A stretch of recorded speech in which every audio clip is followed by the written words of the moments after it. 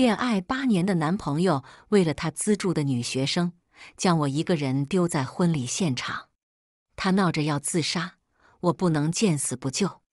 你懂点事，婚礼一个人也能完成。我彻底死心，当场宣布我不嫁了，却在离开的路上出了车祸，失忆了。再见面，男朋友满脸不耐烦：“你又玩什么新花样？”我抬手给他一巴掌：“我去你妈的！窝囊废，谁爱当谁当。现在的我遇神杀神，遇佛杀佛。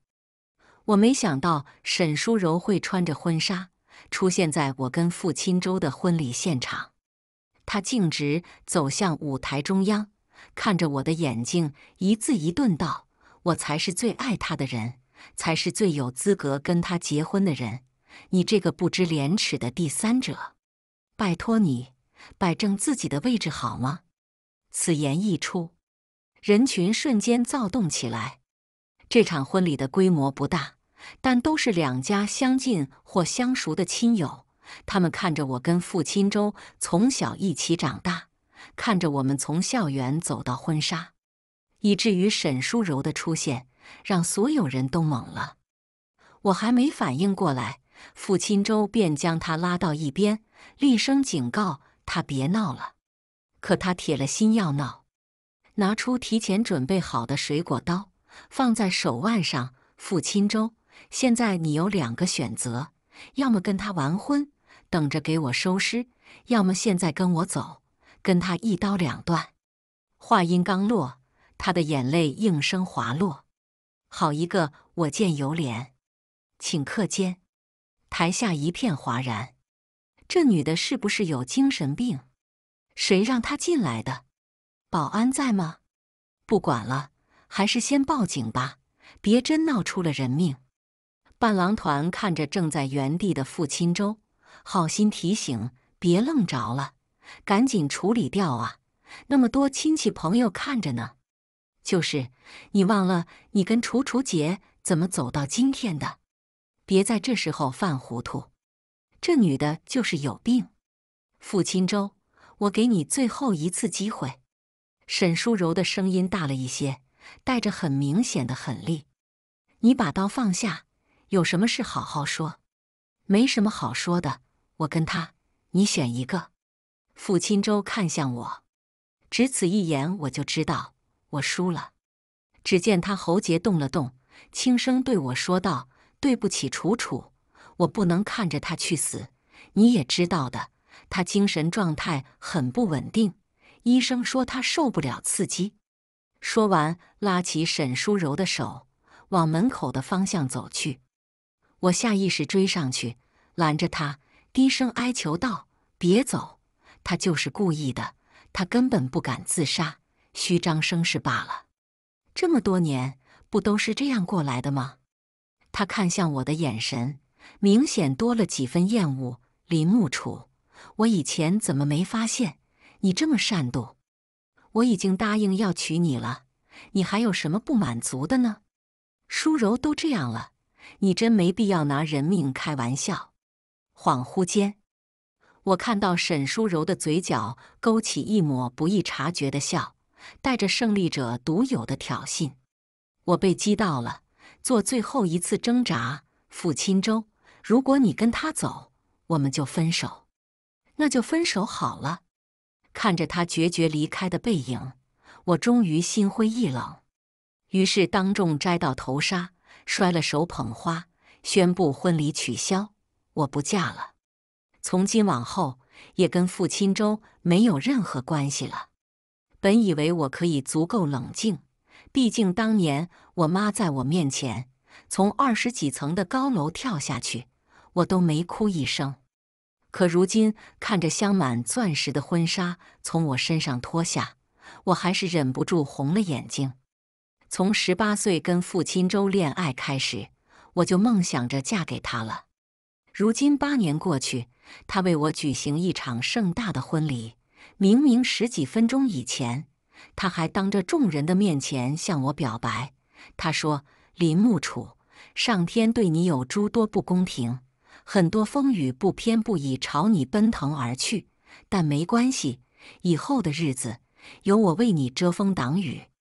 爱上你是我做过最简单的一件事，把你娶你回家是我人生最大的幸福。从今往后，我会是你的归途。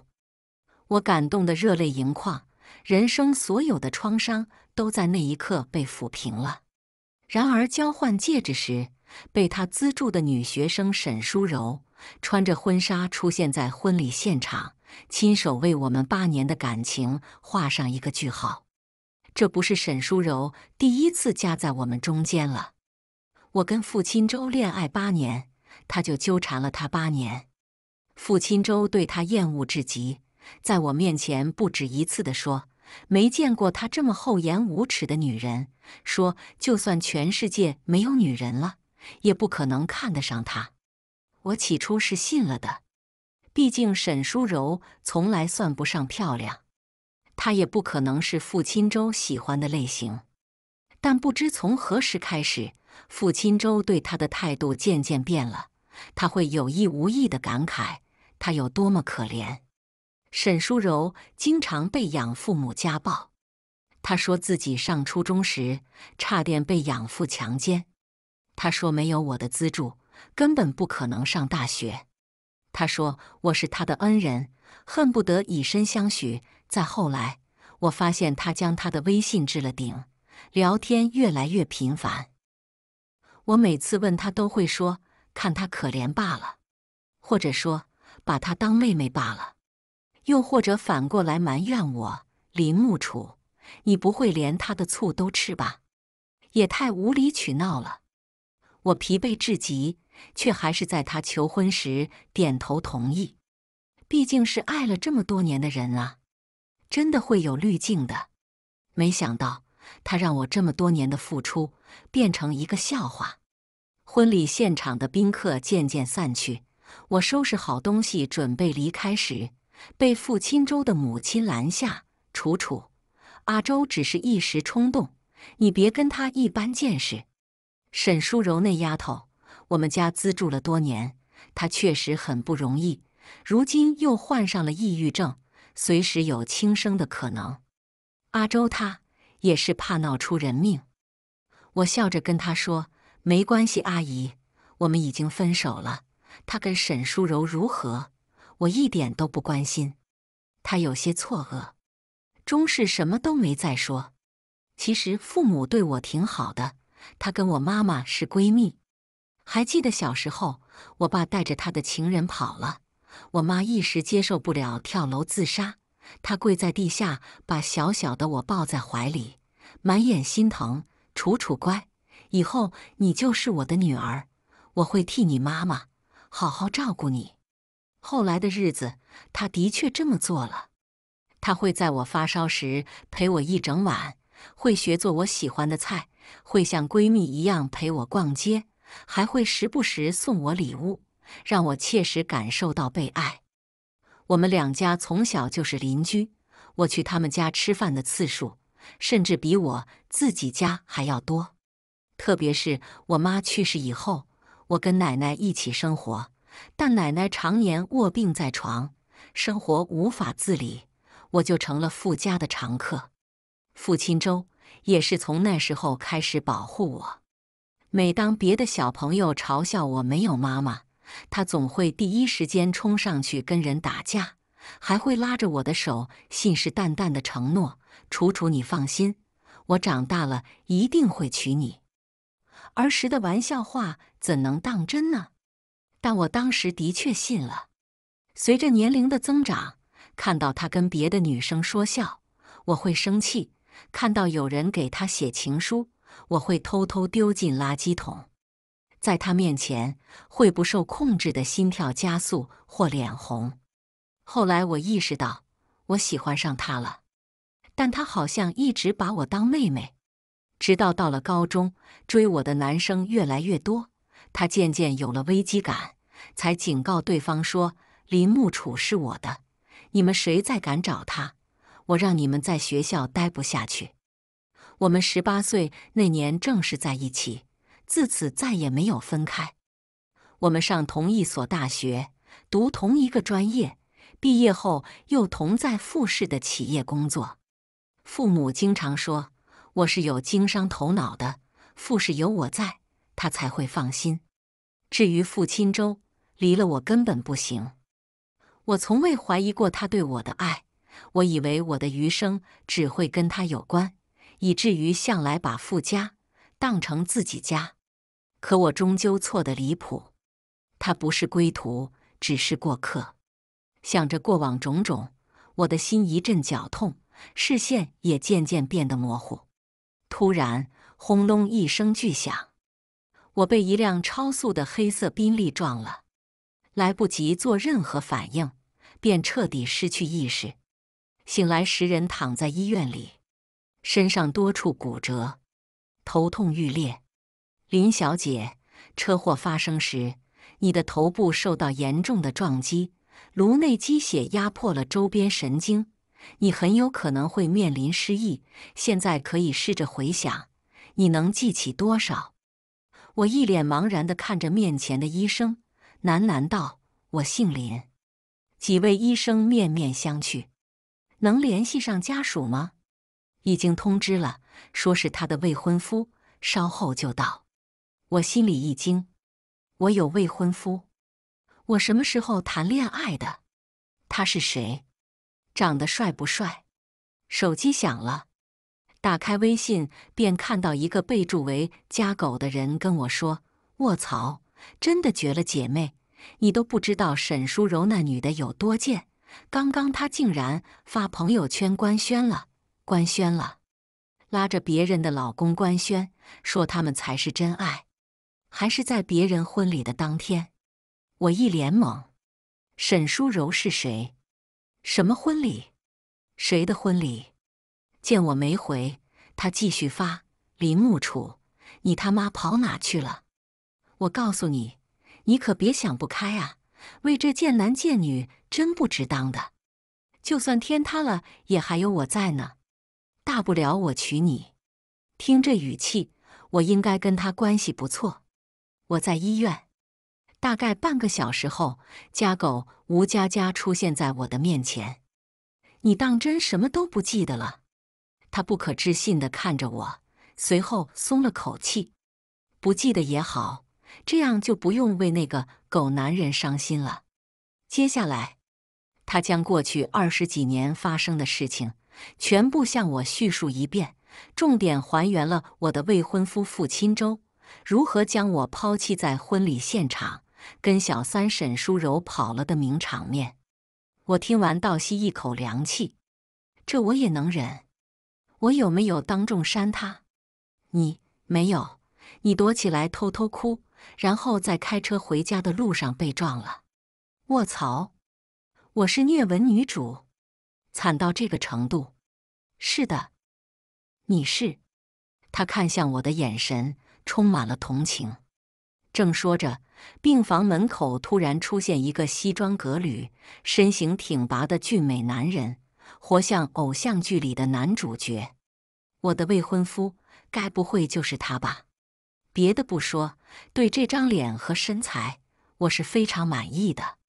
你好，我叫席景言，是我的车撞了你，我愿意负全责，你的一切医疗费用。我都会承担，还会找护工照顾你，直到你出院。至于赔偿，你开个价吧。想到我那个跟小三跑了的未婚夫，我忽然有一种想要报复的心理，于是心一横，问他：“你单身吗？”他点点头。那好，我不要赔偿，也不要护工，我要你做我男朋友。他笑了，像看傻子一样看着我。你知道我是谁吗？我管你是谁。我尽量表现的嚣张，是你的车超速才导致的这场车祸。我完全可以报警把你抓进去。是你主动要求和解的，那就由我来开条件。他沉默半晌，最终松口：“行，你赢了。我有事先回去，晚点过来。”他走后，吴佳佳的眼睛都瞪大了。他拿着手机看着百度百科上的资料，说道：“我就说席景言这个名字怎么那么熟悉？原来他就是咱们市富豪榜上的那个大佬。据说他黑白两道通吃。楚楚，你惹上他，真的没事吗？我有点犯怵。应该没事吧？这本来就是他的错。正想着，病房门口突然出现一个男人，同样很高很帅。但相比于席景言，稍微憔悴了一点。如果我没猜错，他应该就是我的未婚夫傅钦周了。可是很奇怪，虽不记得跟他之间的种种，但看着他这张脸，我竟有一种生理性的厌恶。可见以往他伤我有多深，那我自然不必给他好脸色。他看到我，满脸不耐烦。林木楚。我还真是小瞧了你，没想到你竟然这么能做，还买通医生一起骗我。看来舒柔说的没错，你的确挺能装的。我真是看错你了，我一句废话都不想跟他多说。你过来，靠近点。他照做。我使尽全身的力气，抬手给他一巴掌。我去你妈的！你你搞什么？不明显。教训你这个渣男！如果我没记错，我们应该已经分手了吧？那就请你带着你的小情人滚远点，别再出现在我面前，否则就不是一巴掌那么简单。林木楚，你真是疯了！你知不知道你在说什么？我当然知道，请你现在就滚。好，这可是你说的，以后别哭着求我回来。他走后。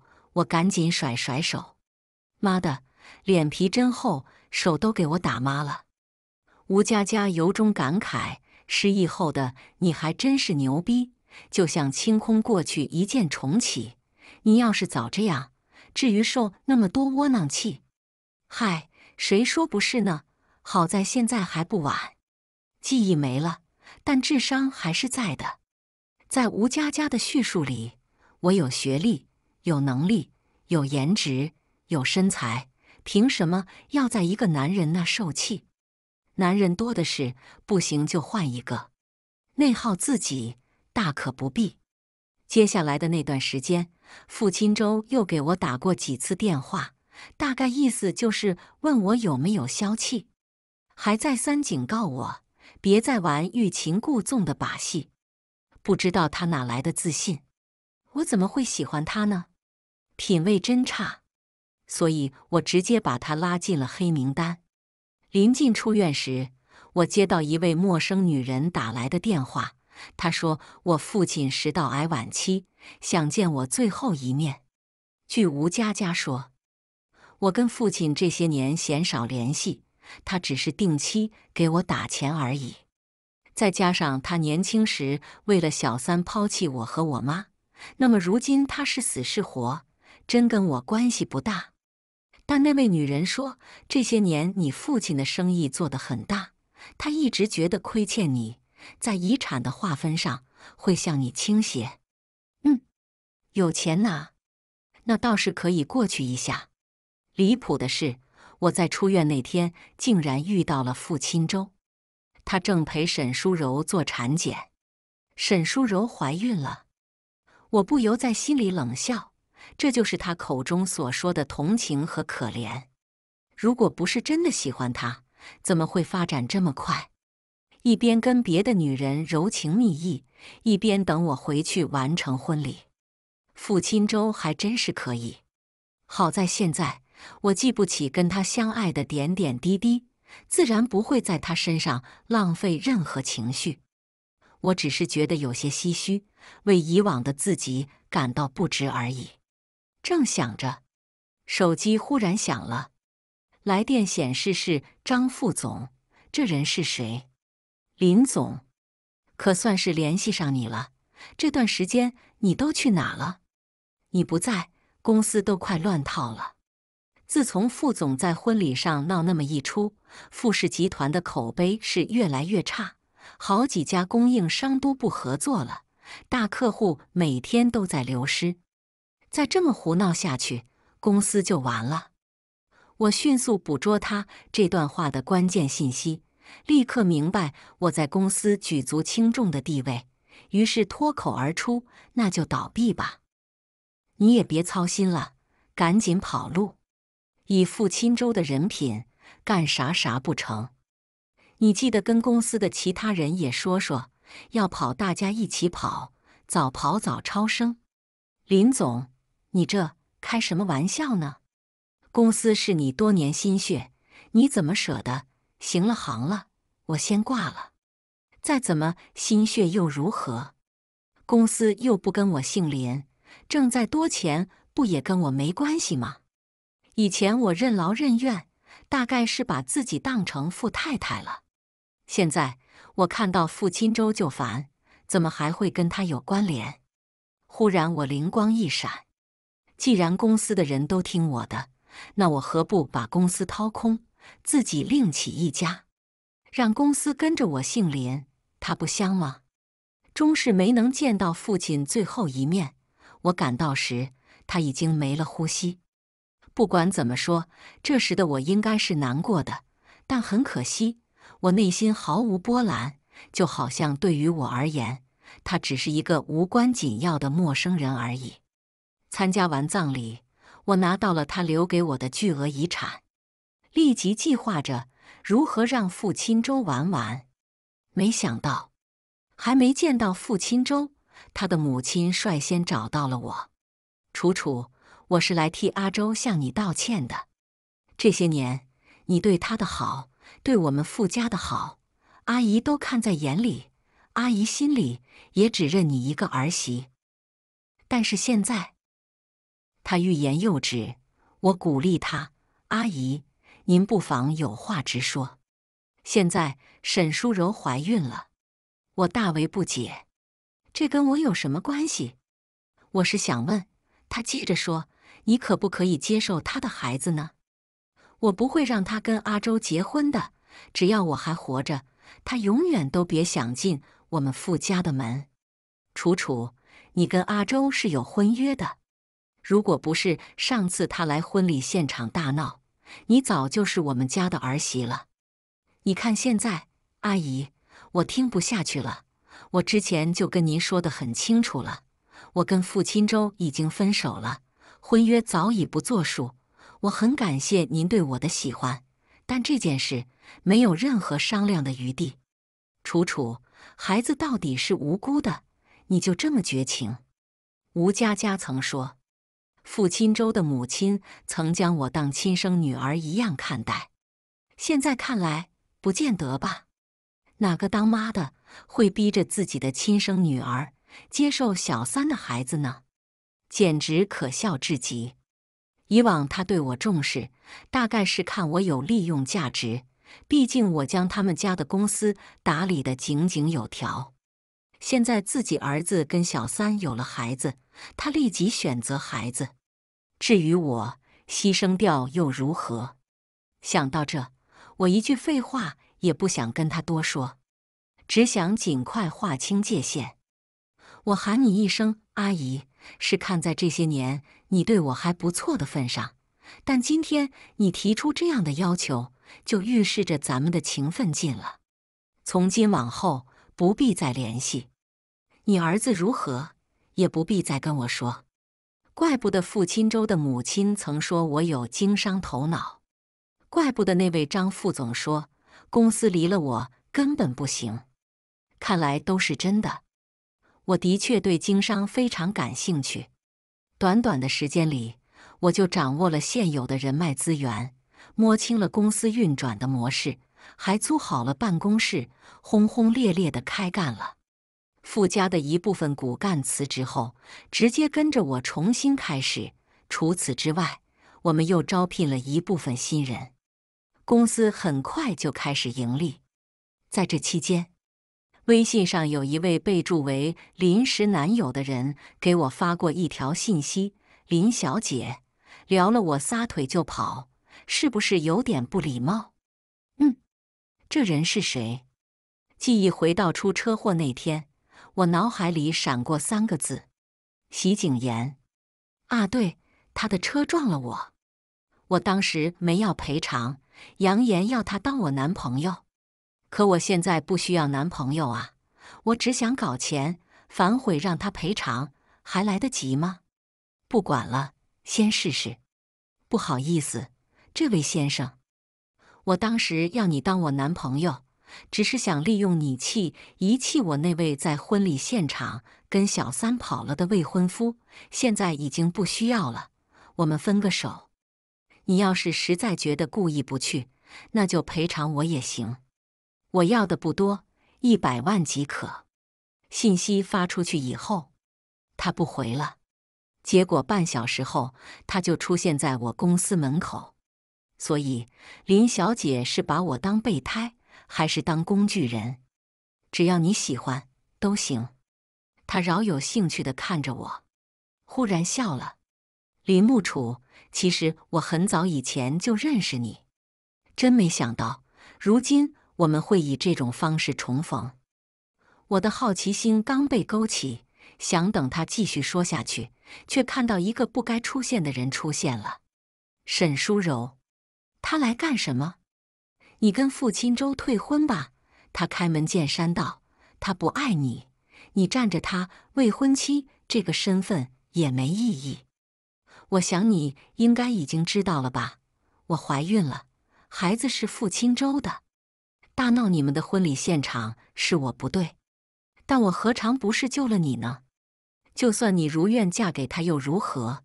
他的心根本不在你这。哦，我明白了。我只要一天不跟傅钦周公开退婚，他就一天背上第三者的骂名。那么将来他的孩子出生，就是傅家名不正言不顺的私生子。这对于一位母亲来讲，应该很难受吧？他来逼我退婚，也是可以理解的。但我偏不如他愿。哦，是吗？我挑衅他，你怎么知道他的心不在我这？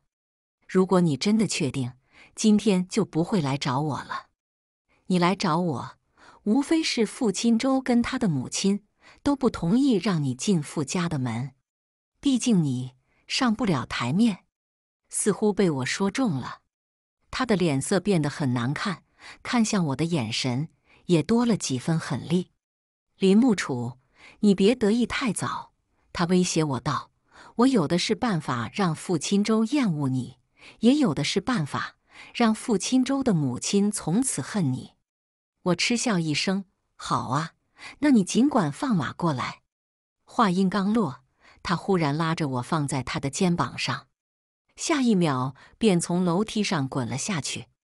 紧接着一声尖锐的喊叫声划破天际，我看到她的白裙瞬间嫣红一片。这是杀敌一千，自损八百。这女人还真够狠的，还好我一早就知道她来者不善，提前录了音。救护车来了以后，我跟着去了医院，等着看她接下来的表演。我的临时男友席景言也跟着去了。他说：“反正闲着也是闲着。”果然，他从医院醒来后立即开始演。楚楚姐。我知道你恨我破坏了你的婚礼，恨我从你身边抢走了钦州。可我的孩子是无辜的，你就算再容不下我，也不能对我肚子里的孩子下手啊！说着说着，他嘤嘤哭了起来。林木楚，傅钦州看向我的眼神满是痛心和失望。本以为晾你一段时间，你会冷静下来，低头向我认个错。或许我还会大发慈悲补你一场婚礼，没想到你这么不知好歹，非得把自己的路堵死，好奇怪！明明他说的是汉语，组合起来我却一句都听不懂。我们不是早就分手了吗？他怎么会以为我们在冷战？怎么会以为我依然在上赶着当他的富太太？以前的我在他面前。到底有多贱，才会惯得他这么蹬鼻子上脸？刚想反驳他，他的母亲突然开口了：“楚楚，舒柔说的是真的吗？真的是你把他推下去的？你的心怎么这么狠？就算你嫉妒他，也不至于用这种手段吧？我那天已经跟你说了，我不会同意他进我们傅家的门的。等孩子生下来，你依然是名正言顺的傅太太，你还有什么不满足呢？如果你愿意，孩子大可以养在你名下。我再也忍不住了，扑哧一声笑出来。这母子俩还真是奇葩呀！怪不得都说有其母必有其子，有他这样的母亲，傅钦周有多自信都不奇怪。但到了这一步，撕扯已经没有意义。我实在不必跟他们多费口舌，降低自己的档次。于是我转头问病床上的沈淑柔：“你确定是我把你推下楼梯的吗？确定是我想害你，想害你肚子里的孩子？不然呢？难道还是我自己推的自己？好，很好。”说完，我拿起手机报警，说有人诬陷我，我要告他诽谤。当我把那段录音交给警察时，沈淑柔彻底闭了嘴。但我坚决不撤诉，势必要让他付出应有的代价。而傅钦周也很快得知沈淑柔的孩子本就保不住，早在他去找我之前，医生就已经告知他胎停了。他这才故意去找我，想将孩子没了的事嫁祸于我。这样一来，傅钦周会恨我，对他会愧疚；傅钦周的母亲也会恨我。毕竟我害了他的亲孙子，没了我这个阻碍，他何时能嫁进傅家，只是时间问题而已。不得不说，他考虑的挺周全，但他万万想不到，我预判了他的预判。我是失忆了，不是失智了。自从我捋清人物关系，就已经对他有了防备之心。我不害人，也不会让人白白害了我。经这么一闹。傅钦周彻底厌弃他，转而来纠缠我。那天跟你一起去医院的人是谁？他一开口便咄咄逼人。林木楚，你是不是忘了自己的身份？我还真就不明白了，我什么身份？发生了这一切，他不会还以为我是他的未婚妻吧？这个男人真是疯得不轻。不等我开口。席景言便替我回答了他：“我是她男朋友，男朋友，你们对我们在一起很久了。”林木楚，他继续转向我：“你闹也要有个限度。我承认在婚礼现场丢下你是我不对，也承认不该跟沈淑柔不清不楚。但他有抑郁症，医生说他随时有可能轻生。我只是想救他。”你连这点同情心也没有吗？至于随便找个男的来报复我，我真是被气笑了。你救人都救到床上去了，都把人救怀孕了，你还要脸吗？还有，别动不动就拿抑郁症说事，你这样是侮辱了那些患有抑郁症的人。明明是他自己犯贱，跟有没有抑郁症无关。可我们在一起整整八年。这八年来，你最大的梦想就是嫁给我。我不信你说放下就放下，爱信不信。说完，拉着席景言就走。他不由分说的追上来，却被席景言一拳打翻在地。他厉声威胁道：“你是听不懂人话，他跟你早就没关系了。再这么纠缠，我会让你死得很难看。”不得不说。席景言真的好适合拿来当男朋友，他长得帅又具有钱，关键还非常有眼力劲儿，遇事他是真上，演技非常好。有他在我身边，确实有安全感多了。至少傅钦周再来骚扰我时，有人可以挡一阵子。连我闺蜜吴佳佳都说，我这是因祸得福。退一万步说。如果席景言这种极品男人真成了你男朋友，你当初被他这么一撞，性价比还是挺高的。我一阵无语。你忘了当初我在病床上躺多长时间？不管他是不是我男朋友，这笔账早晚都得算。不过我暂时没时间。我忙着挣钱。公司走向正轨以后，我忙着物色新的供应商，整日辗转于各个工厂，同时还要通过各种渠道开发新的客户，忙得不亦乐乎。相比于情情爱爱这种打拼事业的日子，好像更适合我。我一早就知道，我能让富家的公司离不开我，自然也能将自己的公司经营的绘声绘色。只是当初太过恋爱脑，根本没想过这一层。不然的话，早就是富婆了。果然，男人只会耽误女人挣钱，一点用都没有。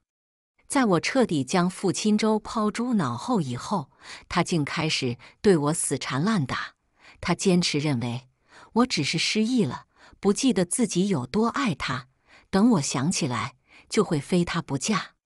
我懒得理他，直接警告他：再这么纠缠我，我只能报警了。他根本不听。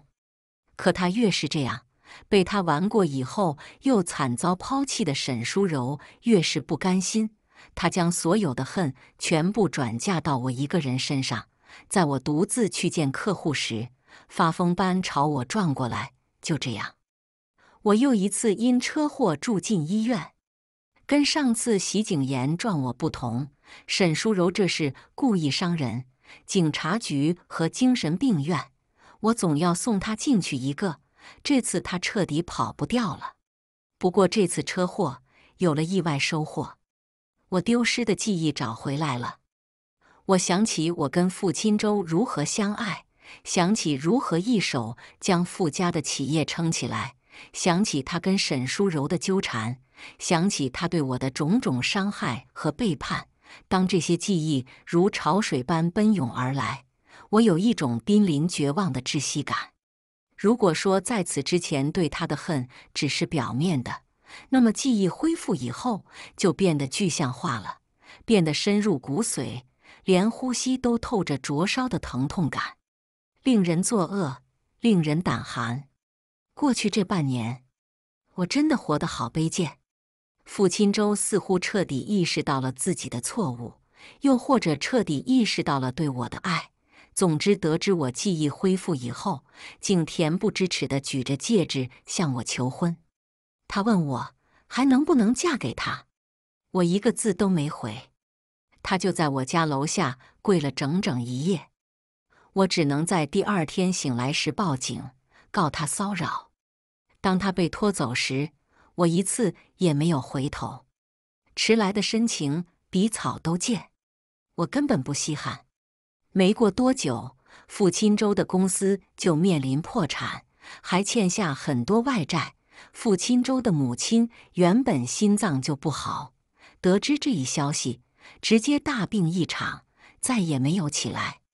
期间，他曾找过我无数次，但我连他的面都不会见了。他曾有恩于我，我亦曾真心待他，我们两不相欠了。只是我一直以为傅家的公司倒闭是必然，毕竟傅钦舟的心思从不在工作上。也没有做生意的头脑，没想到竟还有外力的存在。因为席景言跟我说送你的这个礼物，你还喜欢吗？我有些不理解。其实他不必这么做的。谁料他说：“你不觉得在整个故事里，我的存在感很低吗？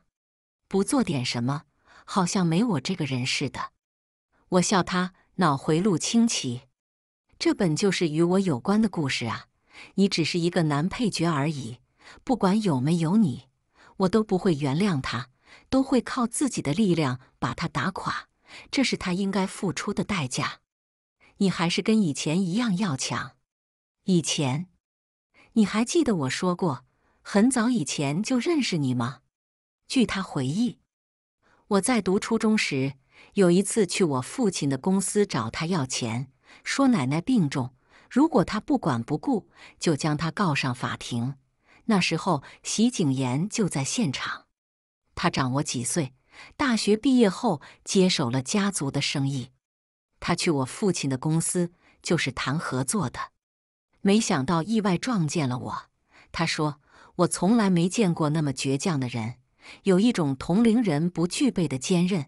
那时我就知道，你以后会是个很厉害的人，不会比你父亲差。那当然了，他只是个抛妻弃女又不忠不孝的渣男罢了。说到这，我们一起笑了。这是我第一次相信宿命。原来很多年前我们就已经遇见，兜兜转转之后又一次重逢。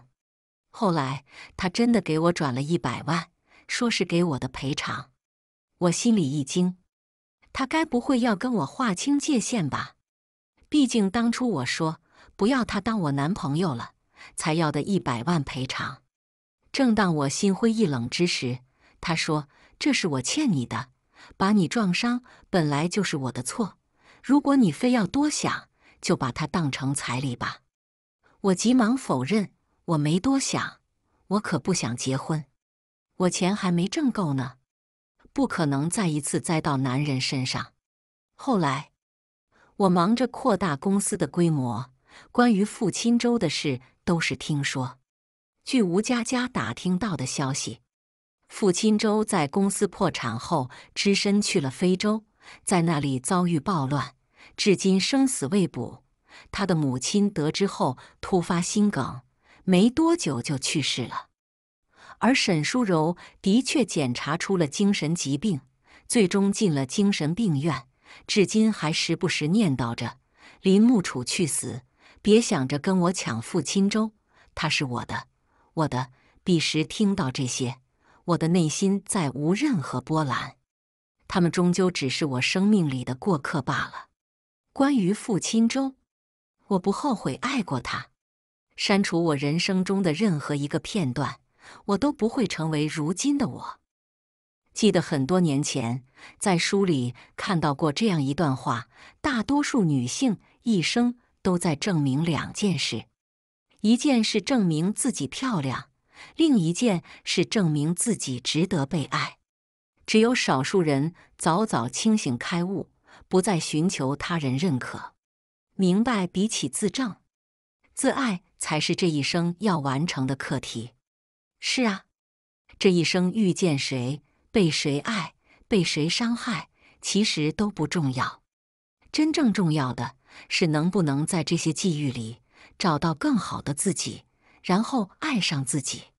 我很庆幸，我明白了，无论谁跟我在一起，都会收获乐趣和开心、平静和幸福；无论谁错过我。都会他的损失和遗憾。傅钦州，他只是单纯的命不好罢了。而席景言命好不好，往后看他表现。